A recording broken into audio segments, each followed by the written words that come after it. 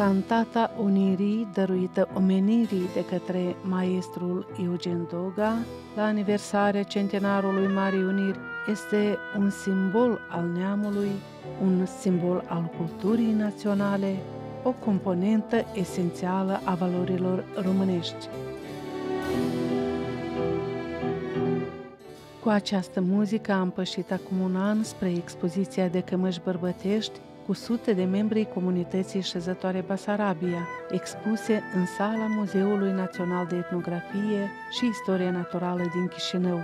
În centrul expoziției se afla replica cămășii cu altiță a Elenei Alistar, unica femeie din sfatul țării care a votat la 27 martie 1918 actul unirii Basarabiei cu România.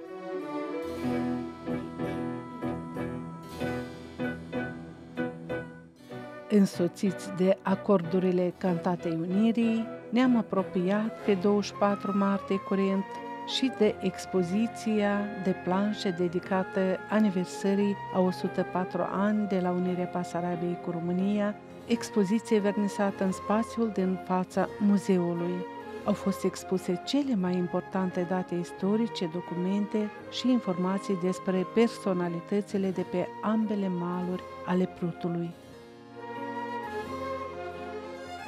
Evenimentul a inclus și un recital de poezie și piese muzicale. Mă doare că mi-ești frate de tricolor și neam. Mă doare că mai curge pur sânge de român. Ridică-te, Ștefane, cu brațul tău cel sfânt. Unește iar Moldova cu al patriei pământ. Ce dacă avem palate și săli prezidențiale în care curg citate ca morții în spitale, când trup din trupul țării e azi înstrăinat, strămoșii ne acuză, dar clopotele bat. Ca așa e tot românul, prea bun și răbdător, dar vai și amar de acela ce vrea ca un popor să aibă două imnuri, doi președinți de stat, când țara noastră e una, de Dumnezeu lăsat. Unire, frați români, așa e scris în carte, o Românie avem, pe viață și pe moarte. Mulțumesc! În astfel de momente trebuie să fim împreună, să ne aducem aminte istoria, să vărsăm o lacrimă de recunoștință pentru înaintașii noștri care au avut înțelepciunea, au avut viziunea și au avut curajul uh, de a acționa pentru a aduce România întreagă acasă, iar în acest proces de devenire istorică, Basarabia a fost prima provincie istorică care a spus da. Este important să știm că din 2017 încoace, ziua respectivă este declarată zi națională în România, este zi liberă, este zi de mare, mare sărbătoare, alături de alte zile uh, principale pe care le marcăm la date uh, importante pentru sufletul nostru cel românesc. Niciodată nu zi, niciodată.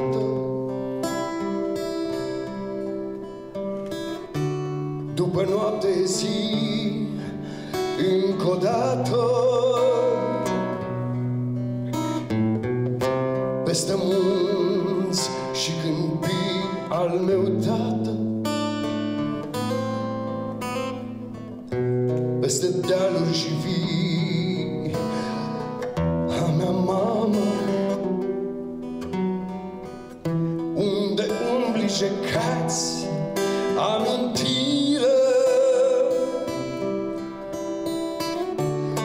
Între munți și Carpați e iubire. Și străini și încă frați în neștire. Risipiți adunați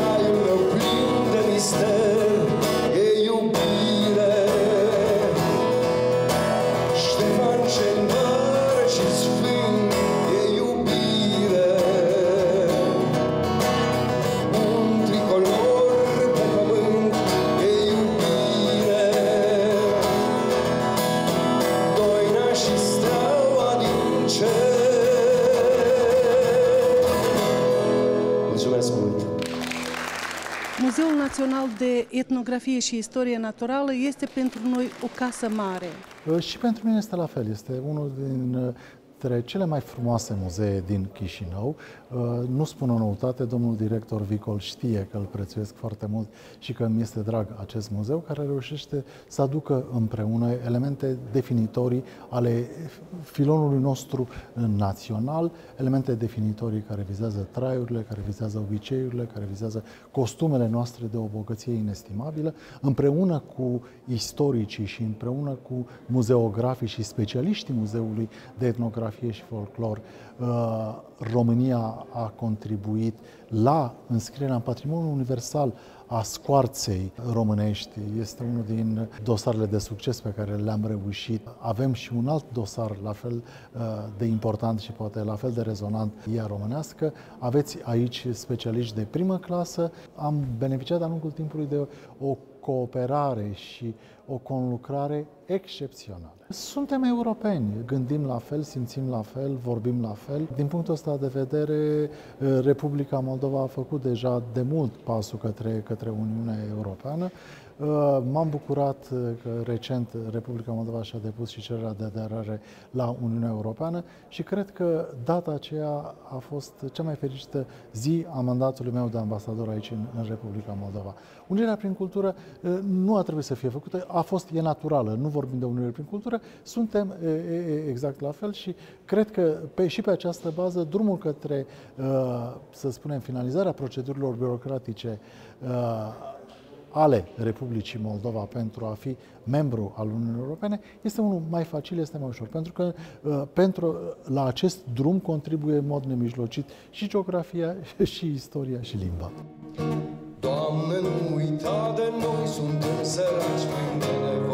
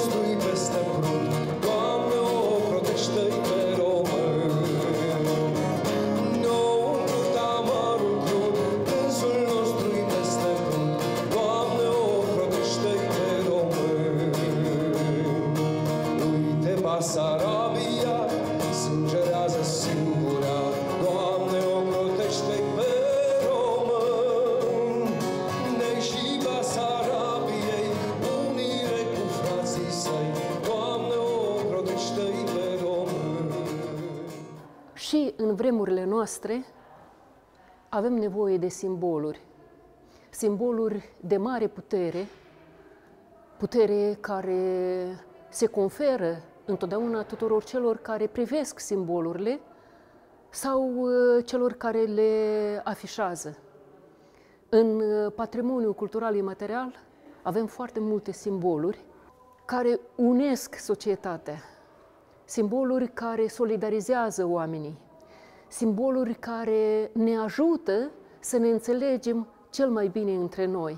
Mărțișorul este unul dintre acestea. Costumul nostru tradițional, în special cămașa cu altiță, cea pe care o purtăm noi acum, sau cea care apare aici în vitrină, este un alt simbol identitar și el, simbol puternic, vizual, înțeles pentru fiecare, sigur că și scoarțele noastre, ele tot au motive ornamentale, au uh, aceste ornamente cu un conținut semantic foarte clar, mai ales când vorbim de pomul vieții, de prescură, de cruce, de imaginea omului, păsării și tot așa mai departe. Iarăși, comunicăm prin aceste motive ornamentale, prin aceste simboluri. Colindatul este și el un simbol, este un text simbolic pe care îl ascultăm cântat fiind de grupul de bărbați tineri într-un timp anume la Crăciun, într-un timp sacru, atunci când sacralitatea se fortifică.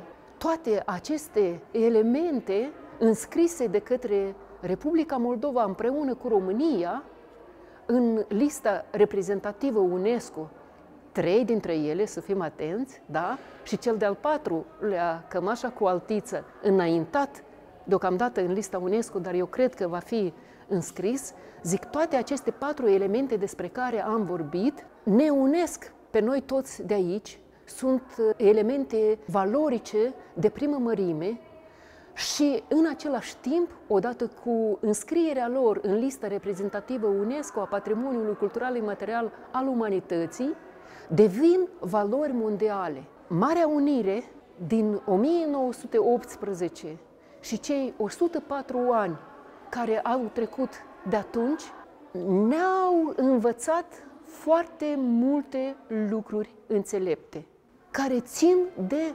protejarea patrimoniului nostru. Actul din 27 martie 1918 va rămâne încrestat cu litere de aur în letopisețele neamului românesc. Mă bucur foarte mult că se păstrează vie amintirea acelei zile istorice de 27 martie 1918 și mă bucur să văd că sunt diferite activități care marchează acest lucru. E important să cinstim strămoșii noștri care într-adevăr au dus la îndeplinire un vis un vis al nostru al tuturor românilor. M-a impresionat foarte mult, uh, mai ales pe micul Vlăduț, care uh, a recitat cu atâta patos aceste poezii frumoase. Și ne e dor de o sfântă sărbătoare în care toți să ne adunăm aici. Și ne e dor de România mare și am rămas îngrozitor de mici. Dar, Doamne, puneți pe cetate talpa mai dă-ne harul unui gest postum, mai cheamă-ne, mai rabdă-ne la alba și să mai încercăm, măcar acum. Poezia se numește Rugă- Rugăciune de 1 decembrie, autor Adrian Păunescu. Mulțumesc! Mă bucur că am uh, putut să fiu astăzi aici. Vin uh, de fiecare dată cu mare drag în uh, Chișinău, în Republica Moldova și nu o văd ca pe o atribuție de servici, chiar dacă e în uh, uh, fișa postului, să spun așa, eu vin cu uh, plăcere și vin cu bucurie. De fiecare dată descoper ceva nou, văd că tot mai mulți oameni știu ce face România pentru cetățenii din stânga Prutului și asta îmi dă încredere că toate eforturile noastre, toată munca noastră și toată dragostea pe care o punem uh, în uh, slujba uh, celor din stânga Prutului nu trece neobservată. Am coordonat în această perioadă aducerea a două transporturi de ajutoare umanitare, în total 72 de tone, destinate refugiaților ucraineni și asta pentru a ușura povara pe care Republica Moldova o resimte în această perioadă din această criză și uh, facem de fiecare dată tot ce putem pentru a ajuta. Ne leagă, bineînțeles, aceeași cultură, aceleași tradiții și nu în ultimul rând aceeași istorie și limbă. Cât trăim pe acest pământ, mai avem un lucru sfânt, o câmpie, un sat natal, o clopotniță pe deal, cât avem o țară sfântă, România, și un nai care mai cântă, cât părinții vii mai sunt, mai există ceva sfânt. Haideți, cât durea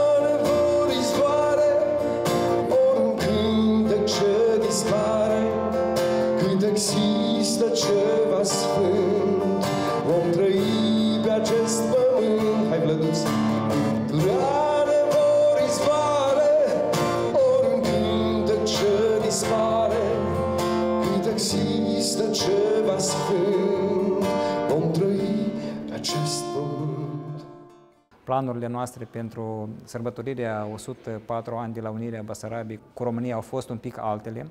Ne-am dorit un eveniment cu mult mai mare, un, un eveniment public la care să participe mai mulți uh, interpreți uh, din Republica Moldova. De fapt, am dorit să fie un târg al uh, unirii, cu implicarea meșterilor populari din Republica Moldova și din România. Noi am considerat că incorrect să sărbătorim, să ne bucurăm în momentul când la vecinii noștri este război. Această expoziție vernisată în spațiu public, este important de menționat că este în spațiu public, este pentru cei care nu intră în muzeu, dar trec pe lângă muzeu, Eh, ajungând la această expoziție, să ridice capul și să citească acele informații care sunt imprimate pe aceste 13 planșe. De fapt, este o carte de istorie, o carte de istorie anului 1918, când a avut loc un eveniment eh, important pentru toți românii de pretutindeni, a fost creată România Mare. Sfatul țării a votat la 27 martie unirea Basarabiei. În noiembrie adunarea generală a, din Bucovina a votat unirea Bucovinei cu România și tot acest proces firesc s-a finalizat la 1 decembrie 1918 cu Marea Adunare Națională de la Alba Iulia, când s-a consfințit crearea României Mari. Deci, iată, noi venim cu această expoziție de planșe pentru public, în primul rând. Această expoziție vine cu un mesaj, un mesaj al unității, al unirii tuturor, indiferent de opțiunile politice, indiferent de etnie, de statutul social, un mesaj al unității în această perioadă destul de complicată pentru noi toți. Suntem 30 de ani de la independență, așa? Eh, iată, cu fiecare an, eh, eu consider că lucrurile se schimbă spre bine pentru noi, românii din Basarabia. Eh, vreau să spun că atunci au fost mari personalități ale basarabienilor și a României în ansamblu, care au făcut tot ce au putut aceste, ele, aceste personalități, ca să împlinească acest vis al tuturor românilor de a trăi într-o țară întregită.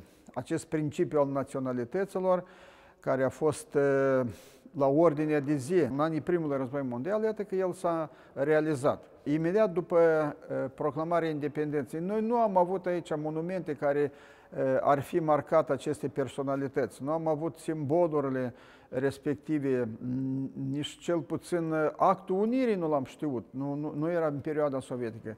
Ei, iată că după 1991, observăm că în mai multe centre raionale, în oraș, aici în Chișinău, apar statui, busturi ale celor care au pus umărul la unire, Constantin Stere, care este pământeanul nostru. Vreau să spun de Gurii Grosu, care de asemenea s-a dezvelit nu foarte de mult, i s-a dezvelit un bust. Încă un monument simbol al unirii este cel al recelui întregitor Ferdinand I, edificat la Ialoveni în 1938. În 1944 a fost evacuată în România și în 2016 reîntors locuitorilor din orășelul Ialoveni este amplasat la un loc foarte frumos aici, alături de monumentul uh, lui Alexandru Ioan Cuza și alte monumente dragi sufletelor noastre.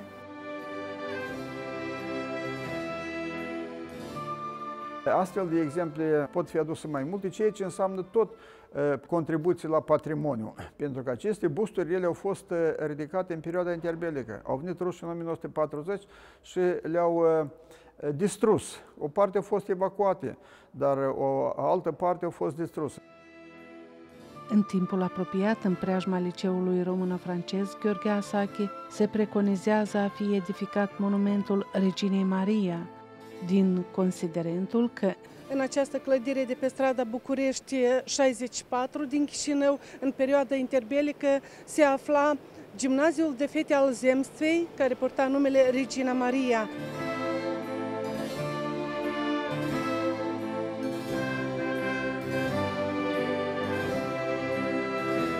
tot ceea ce contribuie la menținerea unității noastre de neam, la identitatea noastră națională, toate aceste uh, valori, uh, ele sunt uh, tot mai mult și mai mult prezente în, în spațiu. Și eu cred că asta este foarte bine.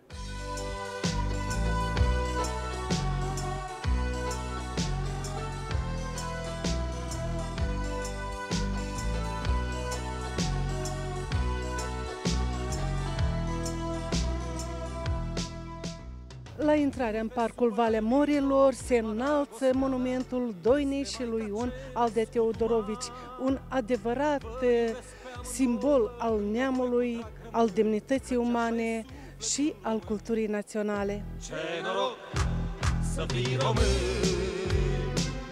într-o lacrimă cerească, domn pe o floare românească, pe vecia ta stăpân. Ce noroc să fii român. Într-o lacrimă cerească Domn pe o floare românească Pe vecia ta stăpân. Lumea estimează, lumea nu i-a uitat cântecele lor sunt din patrimoniu, că de patrimoniu vorbim, așa, ele au intrat în fondul de aur a muzicii patriotice, muzicii ușoare și iată, ei simbolizează o renaștere națională aici în Republica Moldova după atâta asuprire sovietică și nu întâmplător acest monument duce un mesaj. Dar ce înseamnă o valoare importantă pentru noi toți?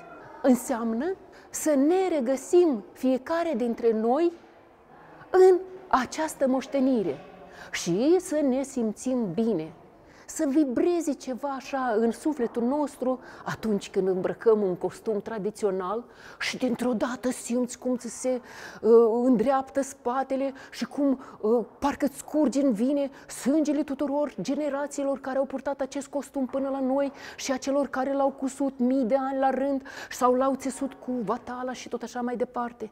Domnilor, e o metamorfoză foarte interesantă în, în mintea noastră, în spiritul nostru, atunci când știm să comunicăm cu valorile patrimoniului cultural imaterial. Și cine dintre noi a reușit să deschidă această ușă sufletească și să comunice la direct cu motivele uh, foarte frumoase de pe lada aceea de zestre, motive pictate, sau cu silueta foarte elegantă a unei biserici de lemn.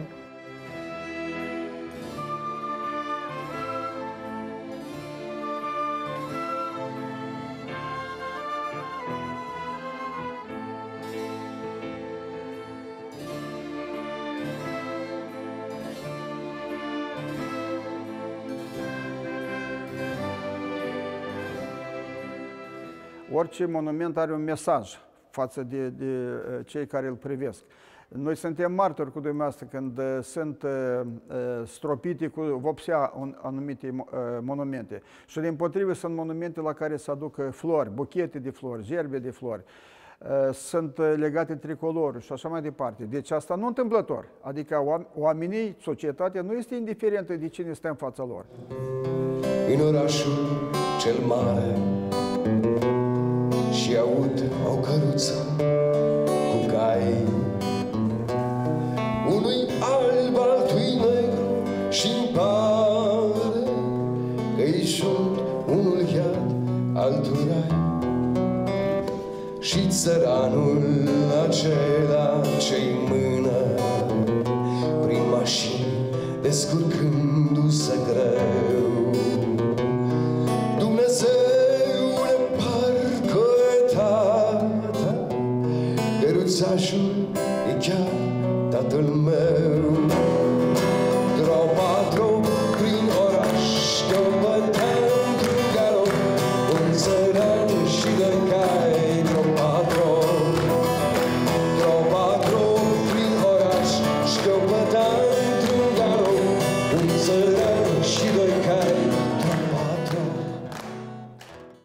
Poporul nostru, de mii de ani, a gândit să creeze simboluri de foarte mare putere operațională, le-a cioplit, le-a cusut, le-a țesut, adică le-a folosit în diferite materiale, încât societatea să le cunoască cât mai bine și prin aceste simboluri și-a apărat și-a fortificat firea sa națională.